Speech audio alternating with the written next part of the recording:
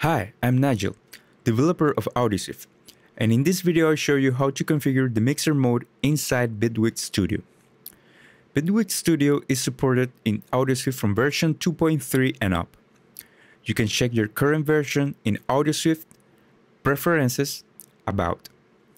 If you need to update, go to AudioSwift and click Check for Updates. Launch AudioSwift before launching Bitwig Studio. Go to Preferences and then click the Mixer tab. AudioSwift creates three virtual MIDI ports. In mixer mode, AudioSwift 1 is used for your primary DAW. AudioSwift 2 is for your secondary DAW in case you work with another one. AudioSwift 3 is only used with the rest of the controller modes. In this case, we are only working with Bitwig Studio, so we are going to select it as our primary DAW on port 1. Close the window. We need to tell Bitwig that we want to use AudioSwift as a control surface. AudioSwift uses the Mackie Control Protocol or MCU to communicate with the DAW. Bitwig supports this protocol natively, but it has some limitations. Instead, we are going to use a third-party extension script made by this developer.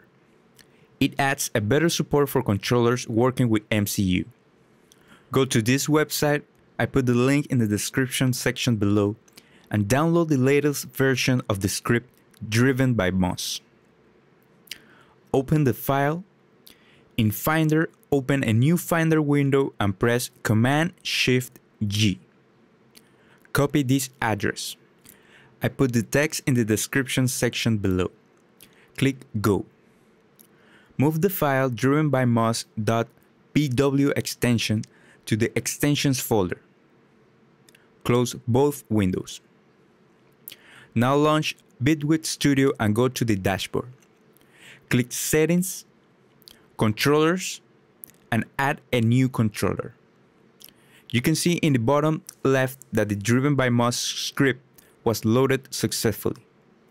Under hardware vendor, look for Mackie, then choose MCU Controller Universal without the extenders. Click.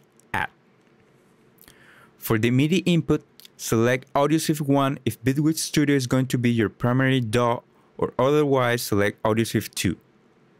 For the MIDI output, repeat the same MIDI port. A list of settings appears.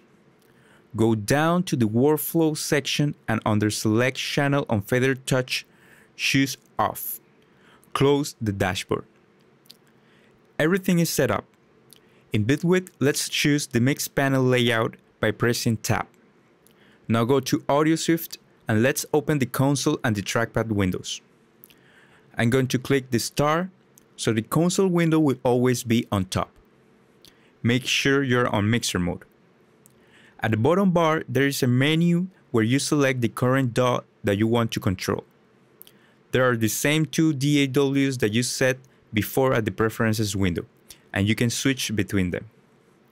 The middle area shows the current view you are working on, with the group of parameters you can control with the trackpad.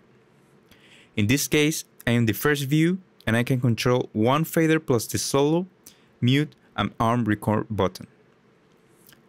Select the first track in your project. Turn on the console with a four fingers tap. Select View 1 by tapping the number 1. To move the fader of the selected track, use the tip of one finger and slide it up or down inside the fader area. The corresponding fader will move on screen. Notice that the movements are relative, meaning that it doesn't matter if you begin at the bottom of the trackpad or at the top level the fader will start moving from its last position following your finger direction. Also notice that once you start moving inside the fader zone, you won't need to worry if you accidentally get out of the zone. The selected fader will still move. When you finish, press the escape key or double tap the bottom right corner of your trackpad. It's a good practice to turn off the console right away when you finish using the controller to avoid moving a fader when you really want to move the mouse pointer instead. Let's turn on the console again. If you press the Option key in your keyboard when moving the fader, it will reset to its default value of 0 dB. If you keep pressed the command key, the fader will move more slowly for fine tuning. You can also change the sensitivity of the fader by going to Preferences, Mixer tab, and move this slider horizontally. To solo the track, tap with one finger over the letter S.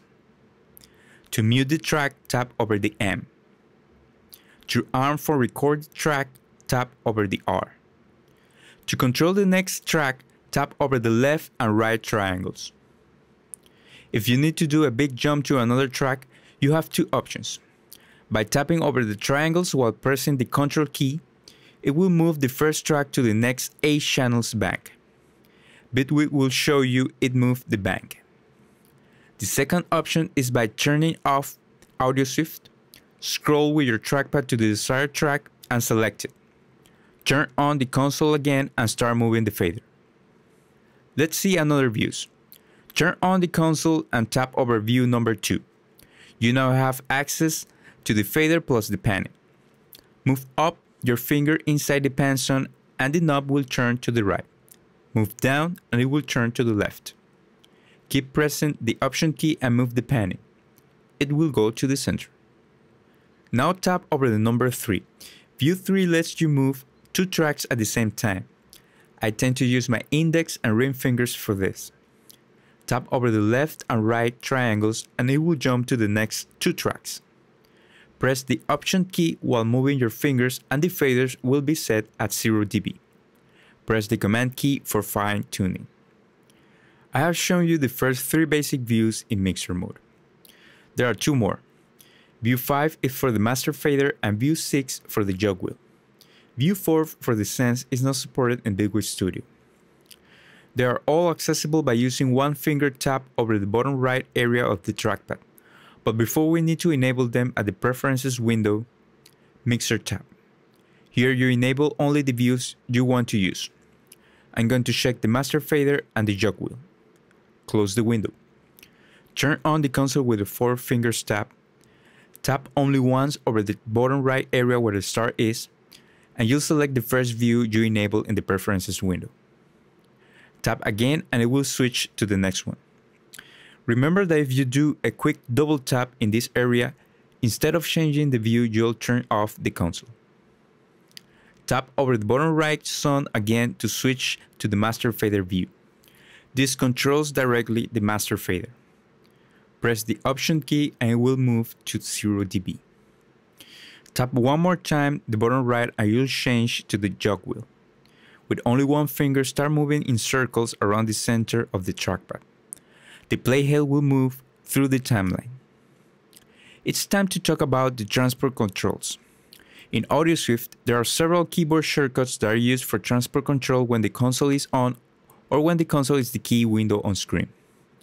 You can either use them, or if you prefer, you can use the regular transport shortcuts in your DAW, and then turn on the console for controlling the faders, panning, and so on. Like in your DAW, to play the music, use the spacebar. Press it again and the playhead will stop. The letters from Q to Y in your keyboard are for the rest of transport controls. Q is for rewind, W is the stop button, E is another play button, the R is the record button, T is for enable the cycle mode, and Y is fast forward. If you have a MacBook Pro with touch bar, you will also see the transport controls display on it.